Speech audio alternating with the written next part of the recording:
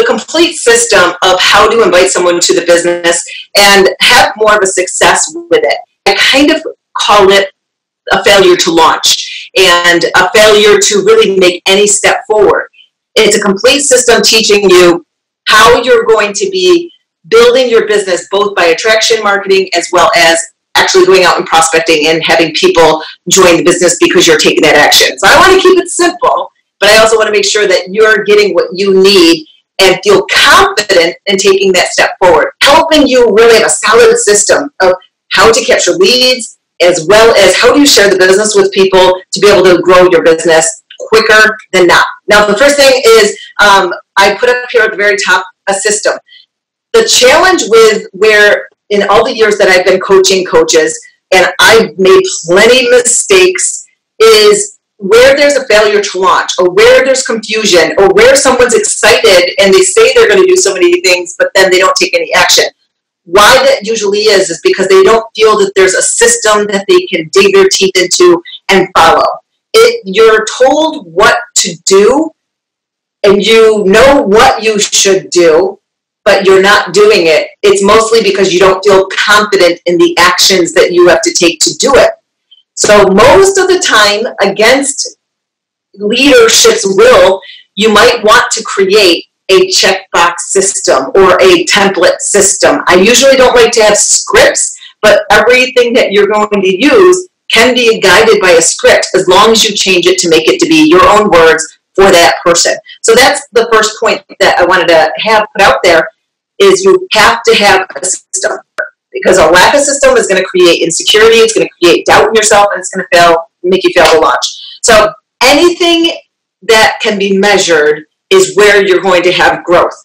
And what I mean by that is if you're not using a daily action tracker or a contact conversation tracker list, there's no way for you to measure your forward motion growth. Every time the month is ending, it's always a reminder, especially if you're working towards achieving Success Club. Have you had enough conversations with people? Do you have an action to always move forward rather than just let another month pass? Now, that's kind of my marker. Obviously, in the business, um, for those of you who do or don't know, I was the first person in the entire company to hit the top rank, which is 15 star diamond. My team and I did that in my first year and a half of business. My, my first year and a half of my business, I was working a full time job for Chalene Johnson and I also had three fitness part-time jobs. My husband uh, worked an hour away and was gone for 12 hours out of the day, and I had a one and a half year old son and a baby in the oven. So that's how I started. And in the first year and a half of my daughter, so my daughter turning one, is when my business center was 15 Star Diamond. I did not try to achieve 15 Star Diamond because I didn't even know what it meant. I didn't even know it existed. What I was working hard to is help other people move their business forward because I didn't know anything about network marketing and didn't have any experience on that. But what I was stressed about is I ask people to do this with me. I got to tell them what to do. And that's where I focus mostly is helping people move their business forward. Then I was also the um, first coach in the company to achieve 15 star diamond on a second business center in the company as well. Now, the reason why I share that is because it seems like it can be easy to do and it's painfully hard because trying to have a bunch of people doing the same thing at the same time is really hard. So I don't really always obsess about focusing on achieving a rank, but I feel when you're in the beginning phases of your business, it's kind of a priority because again, rank and movement up, even if it is family, friends, as your coaches in those places just on beach bars and Shakeology, it is a marker and a small win of success and forward motion for you. And it's and it's social proof that what you're doing is legit. So those are the reasons why I really strongly suggest that you do work towards a rank as a goal and success club as your monthly goals. So, so that you're always in forward motion and you're either hitting a goal or you're redefining your goal. That you want to use a daily worksheet tra- uh, tracker. So if you're in Platinum Presenters University, in there there's multiple ones, but one of the most basic one is called the Daily Weekly Activity Tracker worksheet. And you can just check off what you do every day. It's not a matter of do you have to do all those things on the left sidebar. It's just get a gauge of where you're spending your time every week so you know where your time is spent and where you need to adjust to be able to have greater success.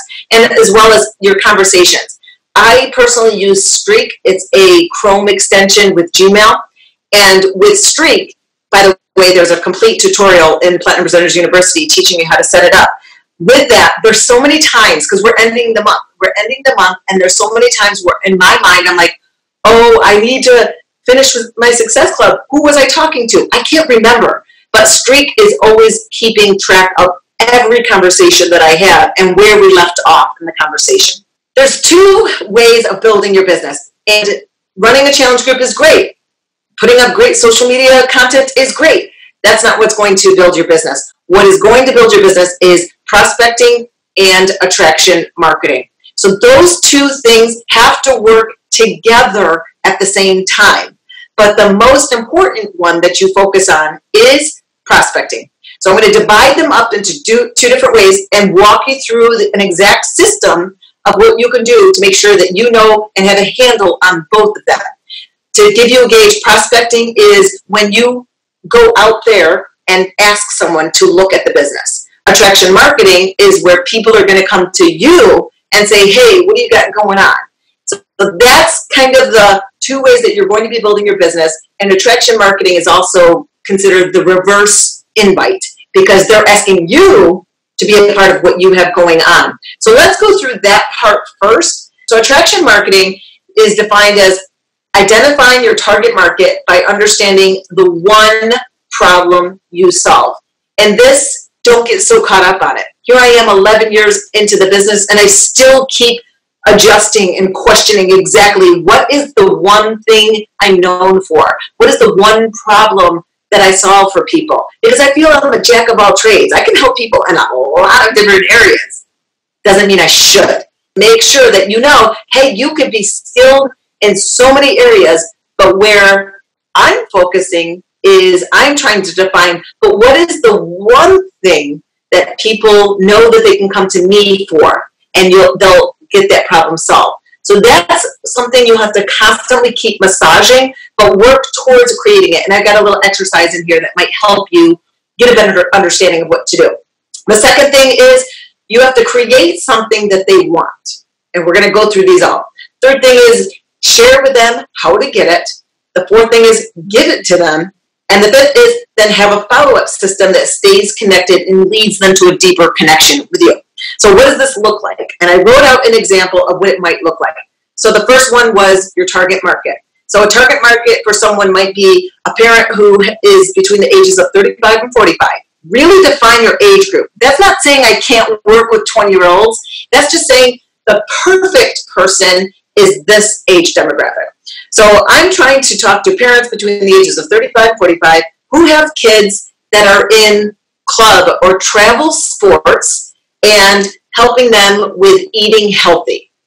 So that might be my demographic. That might be my specialty. That's the thing that I do naturally without thinking is I travel around with my kids and I really see the struggle of trying to bring healthy food and find food and nourish, nourish the athlete on the road. Like that might be my thing. So that's your target market example. The second part of it, again, is create something that they're going to want. So what would someone who is in that demographic want? Well, maybe you could create a PDF that has simple meal plans or travel tips or how to find last second meals while they're traveling. Then the third thing is, well, how do they get it?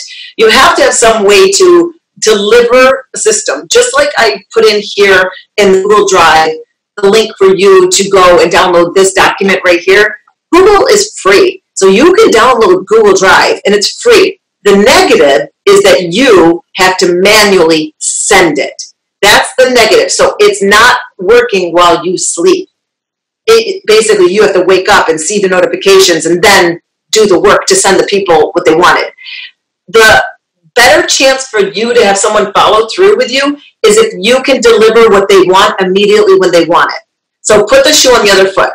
Have you ever signed up for something and when you signed up for it, you gave your information, they said they'll email it, email it to you, and then you go to your email and you keep refreshing, and that never comes.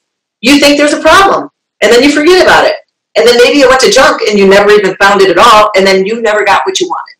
So the best thing is is to make sure that you have a system that when someone completes your little sign up form, that once they hit submit, it automatically goes to whatever service you're using, and that automatically sends them whatever you promised them.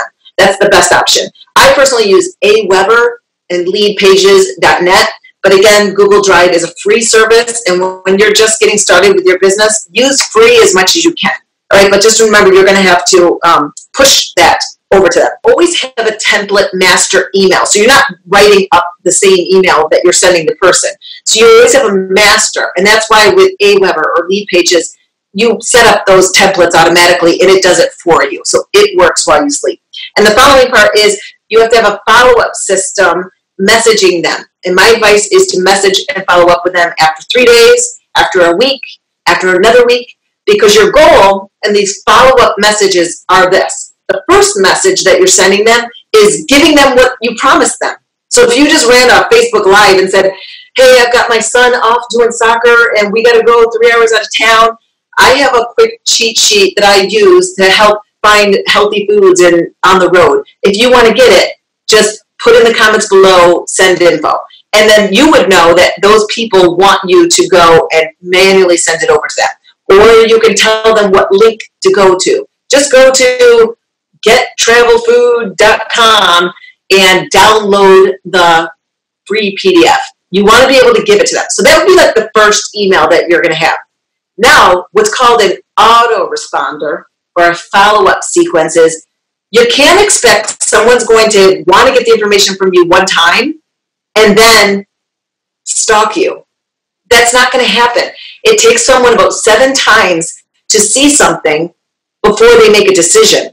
So if you ever sent someone information about your challenge group or coaching or a product, and then they went MIA, and you never really followed back with them with valuable information, people are not going to knock on your door to do what you want them to do. You have to offer valuable information. Follow up systems. So, say for instance, I send them that first email. The three days later, what I might send them is a message that says, Hey, I just found this great cooler bag that works for us while we're traveling on the road this is the cooler bag. You're giving them helpful tips. I'm not saying, hey, and then join my challenge group. So you want to avoid pushing your agenda. You want to be helpful. And then the next week, again, you will then give them another email. Now, this is the one where it starts to kind of blend. The next one might be saying, hey, we're going off on some trips this weekend, and I've been eating on the road too much. What I noticed is that I am packing on a few pounds if you're noticing that too and you want to join a group that I'm putting together to eat clean for a month or whatever, give me a shout back. So you're not basically selling to them. You're still being real life of an interest that they're interested in, but you're letting them know reality that you got other things that can help support them too. Now, the quick exercise, this I'm just going to quickly t- tell you. If you're wondering, what is the one thing that I'm supposed to talk about? What, what am I about? What is my brand? Who is my target market? Here's a quick little exercise that's in this document. What I listed are a bunch of words, and the first five words that you feel kind of define you or feel connected to you, those five words together collectively should be the topics and type of content that you put out because you're connected to those words. So it might be uh, purpose, optimism, laughter, family, um, challenge. You know, those might be some of the words that are connected to you. And now when you have those five words off to the side always look at all the type of content that you're putting up. Does it fall in that line? Does it make someone laugh? Does it talk about having a positive attitude towards waking up and working out? You know so always stay in line with the words that mean something to you and that will steer you in the right course of figuring out who you are and who your target market is. Well how does this all work well, the first thing on social media, and you've probably heard this many times before, and always know that everything you learn is always going to change. There's no right way. It's kind of right way right now, but tomorrow it might be wrong. So always be open to change and do things differently. When Beachbody hired on a trainer for helping coaches be able to share the business, he developed this system called the game plan. And with the game plan, his rule, and it was every day you at least had to share the business with two people. Now, way back when, that was about nine, ten years ago, what we had were these little DVD discs that talked about coaching. We didn't have all the online videos and all of that. Basically, people had to sign up for webinars or get these DVD discs. So what we would buy as coaches are these bundle packs of these DVD discs. And because the game plan said share the business with two people per day, basically on my agenda was every day I had to at least get two new people to look at the business. And I swear not, but I was pregnant, so this is my excuse as to why I was going through the McDonald's drive-through line, but that's what I did. I was so horrible at it because I was trying to force something that felt icky to me. But I remember going through the McDonald's drive-through and getting a shake and then telling the cashier, hey, if you're interested in a business, here. And I like whipped it to where like a, a Chinese star, these little DVD discs. And I would zoom off because I was so freaked out about telling people about this. It didn't feel natural to me. I was trying to do something that icked me out. But but I was already a coach and I was already successful. I already had like a five star diamond plus team. But then I started to revert back to what they were trying to make us do, which was okay for some people, but did not feel good for me. So always understand that everything that you're learning, you have to massage to feel good for you. So now let's go into, well, how does all of this attraction marketing work? First thing is, is creating curiosity. Don't use brand names anymore. So stop holding Shakeology up close to your face and the shaker cup so easily read. People can Google and figure out what that is and buy it elsewhere. They don't need to buy it from you just because they saw that on your shaker cup. So start to be more secretive and evasive. Every time I'm showing my collagen powder, I never show the label. I always have it spun around and I'll talk about it. I'll say collagen, but I don't say Beachbody collagen. I don't say my Shakeology. I say my superfood shake or my meal replacement or my protein shake. So what category does what you want to talk about fall into? It doesn't have to be my meltdown workout. Everyone could Google meltdown and they can see the free workout on YouTube.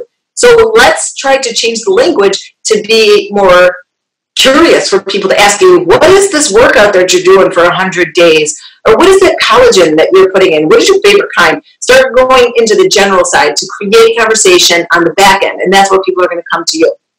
And the second part of it is, again, really sticking strong to digging into their problem, their pain point, and how you might be able to help that. Because if you're always speaking from a place of, I've, I'm successful and I'm amazing and I've got all things figured out, then people are not going to connect with that.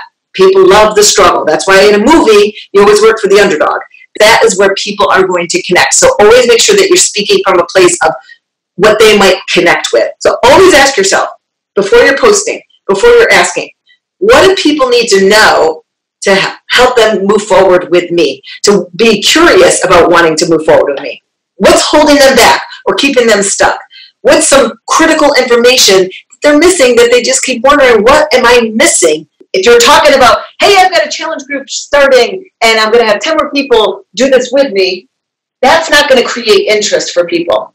What you want to put out there is a struggle. If you've been trying to um, get rid of inflammation, if you've been trying not to eat so many snacks at night, I've got a challenge group that we're going to be really working on that. So always define a problem rather than saying, I got this going on, because that's just advertisement. So now the best kind of media that you can do that's going to uh, use attraction marketing is live video. Second is video. Third is a photo. What you want to do is focus on videos, posts, and Facebook groups. Now what I included in here is a template that is going to help you know how should you always phrase a live video or how should you talk in a video? How should you write your post out on your Instagram post? It should always follow a formula that is going to connect with people. And the basics part of the formula is an opening, and the opening will be something that is relative to you. I never thought that I would like to do home workout videos because that would be me. So that's the first part. The backup story is the second part. And that's where I can say, I used to be that person that thought that people who worked out to home videos were really soft and they really weren't fitness people. That you went to the gym to get a real workout. That's what I used to think. So you're giving the backup as to why you define that problem. And the realization and change. So this is where then I would bring in my story is after the birth of my second child via C-section, I did not want to go to the gym. I was embarrassed. I could barely fit in my clothes. And I knew that I had to try to get this baby weight off. Thankfully, I had these home videos that I plugged into, and I committed by telling social media that I was going to do this workout for 90 days to lose the baby weight. Watch me. And that's the truth, because that was me with ChaLEAN Extreme. That was my backstory that made me see the difference. And I proved it worked because I lost the weight. So the message and the result is how I proved it and how I was so wrong in thinking a workout video couldn't be a serious workout.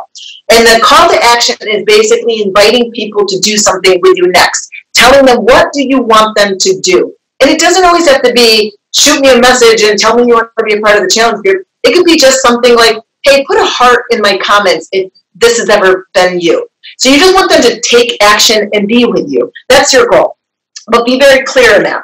So a bad example, just to give you an idea on that, is people are not interested in learning how to lose weight. They're not. They know how to lose weight. You probably have lost weight multiple times. I know I have lost weight a lot of times in my life. That's not what they're interested in. What they're interested in is how is working with you going to be different this time?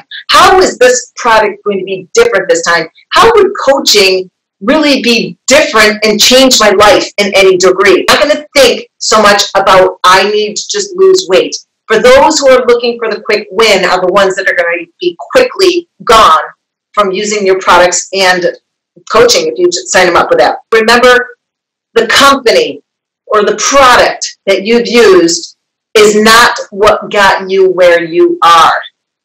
So those people who get tattoos for P90X or whatever workout and claim that that is what got them there. Or me, if I said being a coach gave me this life. No, it didn't because there's 400,000 people signed up as coaches. It's the decision I made to do what was difficult to do what others won't do. And that's why that is possible. It's proof it's possible this works.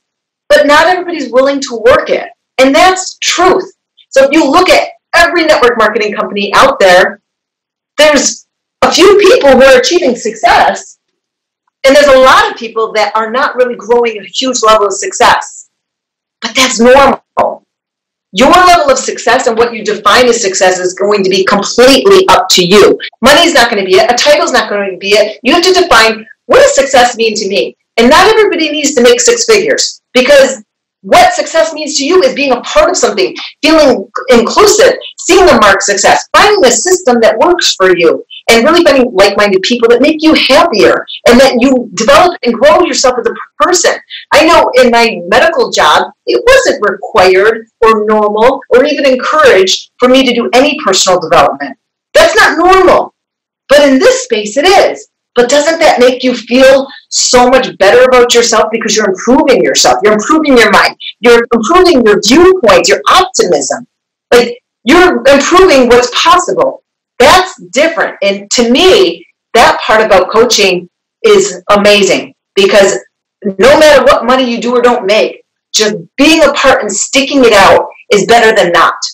I look and think about those people that have canceled and I check back into their social feeds to kind of see what they're up to. And what they're up to is they fell back into that old rut of life where they're not moving themselves forward. They're always in a drama. They're always on the yo-yo. They're always in uh, crappy relationships and crappy jobs and hating every day. Like that's what happens because they removed the reminder. So even if you're not building a huge coaching business, don't worry about that. It will work when you do it, but it doesn't always have to be at a huge grand scale because this is positive in your life. This is a positive thing in your life. It is improving you no matter what. All right, so the final thing is this the company is the vehicle, the products are the vehicle, but you are the one that's making the change. So something to always think about is your messaging that you're putting out there. If you speak from a place that everything is rainbows, everything's unicorn, I am so rich and I am so fit, I have no problems, and you really aren't, if you're really putting out there a fake life, it's going to be transparent. People will see right through it and it can only last so long and it keeps chipping away at you you start to feel icky inside because you have to constantly create this fake life image. Don't be fake. Be real. And there's a sense to being a filtered real side to you. I'm kind of so sick of seeing all of these images that people are putting out there where they're all you over, pinching their belly fat, going, this is reality, this is Instagram. It's been there, done that, whatever, get over it. We know that you can take a very unflattering picture of yourself. Just follow Ricky Gervais because he loves to take really ugly face pictures of himself in the bathtub. Everyone can take an ugly picture of yourself. But we don't need to be like, and this is real life, and then this is glam Instagram, whatever. Be real, be you, but put your best self forward. You're putting yourself out there in a filtered, real sense. Too much information sometimes is too much information. The final part of it is with attraction marketing is making sure how do they take action. You need to tell them what you want them to do. You can tell them to comment on the comments, more info, or go to a link or send you a DM, but you need to tell them what you want them to do. People are not just going to bang on your door. Always remember, attraction marketing is something that you're going to always keep doing. But what's most important now is prospecting. This is what's going to grow your business. This is priority. If you avoid this because you don't want to talk to people that you know, then you shouldn't try to grow a team. You're not a leader. You, you just cannot lead people. If you don't find the passion and see that there's huge value in this, and that talking to people that you currently know in life shouldn't be a scary thing. It's about finding their need and offering this as an option.